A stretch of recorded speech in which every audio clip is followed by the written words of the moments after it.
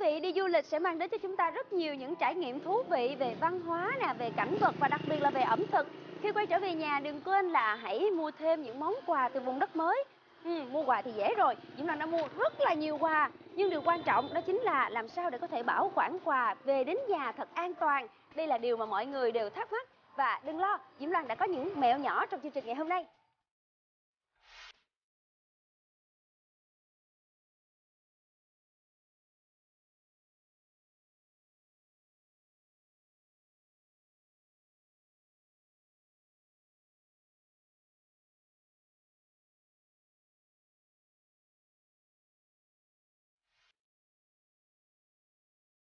Với rất nhiều quý vị, đi du lịch còn là dịp để chúng ta chọn mua những loại mỹ phẩm chính hãng, vừa đảm bảo về chất lượng, vừa lại có giá thành rất là hợp túi tiền. Và thường thì mỹ phẩm sẽ được đóng vào trong những chai lọ thủy tinh và cho vào trong hộp. Nếu có hộp rồi thì quá đơn giản, chúng ta chỉ cần bọc thêm quần áo bên ngoài. Trong trường hợp không có hộp, chúng ta sẽ bảo quản như sau. Chúng ta sẽ cho mỹ phẩm vào trong túi ni lông, quấn thật chặt. Dùng dây thun cố định thực hiện cho tất cả những loại mỹ phẩm mà chúng ta sẽ mang về.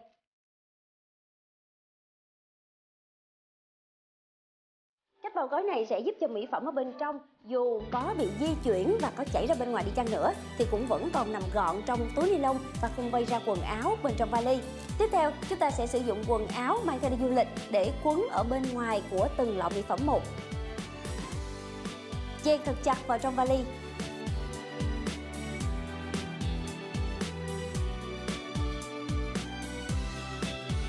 Và bây giờ thì bạn có thể yên tâm rồi. Khi mang theo các loại mỹ phẩm lên máy bay, đừng quên cần phải lưu ý đó là chúng ta chỉ được phép sách tay loại chai lọ chứa 100ml dung dịch mà thôi.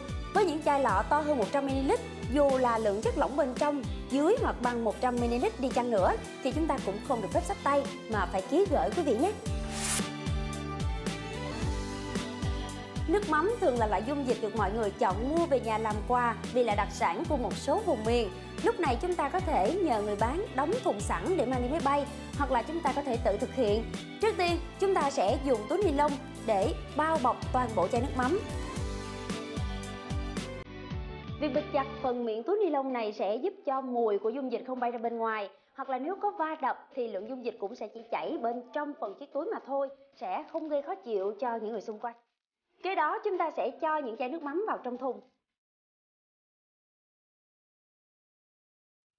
Thùng mà chúng ta tìm được chưa chắc có thể đựng hết những chai nước mắm này, vì vậy hãy dùng thêm giấy báo chèn lót bên trong cho thật chắc chắn.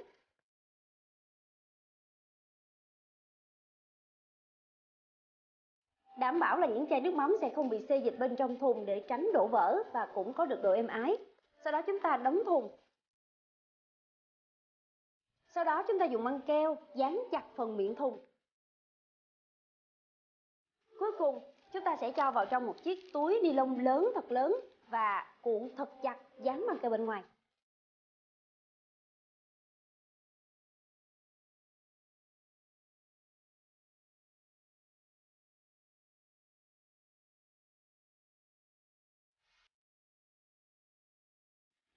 mỗi một vùng đất mà chúng ta ghé thăm đều có thể sẽ có những loại hoa quả rất là đặc trưng để chúng ta có thể mua về nhà làm quà.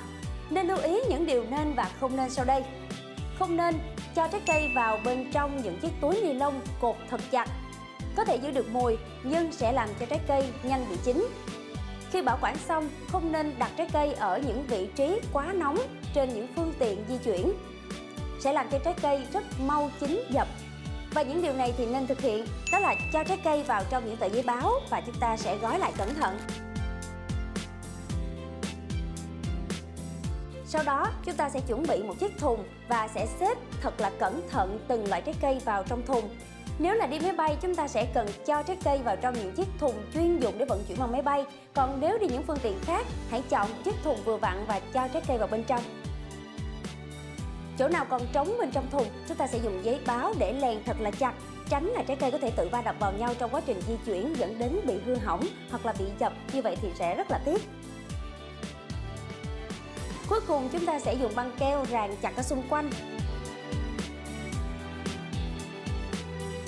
giấy báo sẽ có tác dụng hút ẩm cho trái cây và tạo ra sự êm ái, giúp cho trái cây không bị dập nát trong quá trình di chuyển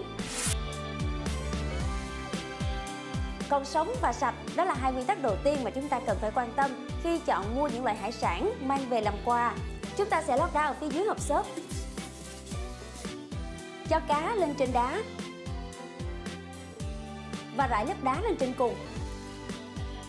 Tiếp tục cho đá đến đầy hộp, sau đó đậy nắp và dùng băng keo dán thật chặt xung quanh miệng hộp. Sau đó cho vào một chiếc túi xốp to và tiếp tục ràng thêm một lớp băng keo.